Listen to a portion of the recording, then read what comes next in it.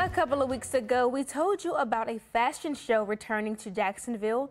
The FTM Fashion Week fashion show took place tonight and was hosted by Vivica A. Fox.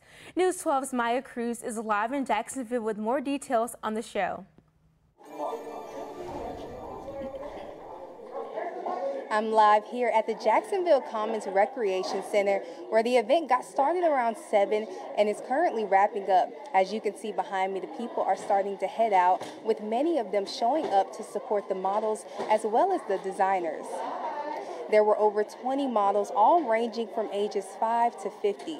The models showcased clothing and handbags from designers right in the audience.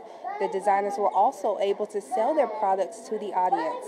The highlight of the night was celebrity actress Vivica A. Fox, the returning host for the show. I had a chance to speak with Fox about the fashion industry and how it's continuously evolving. And but that's changed now. I mean, you're seeing models, I mean, even beautiful models from Africa.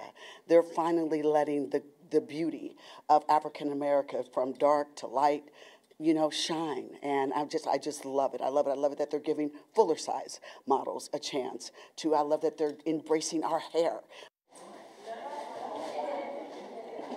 Fox has been hosting the show for years and says her favorite part has always been the fashion. The theme of the show was Hollywood, something she says was perfect with the Oscars right around the corner. There were also a few surprises tonight. They had live performances as well as a magician. There was also a VIP room actually right next door where people were able to eat, mingle, and of course take pictures. It's a fashion show, so you know they had to stay camera ready.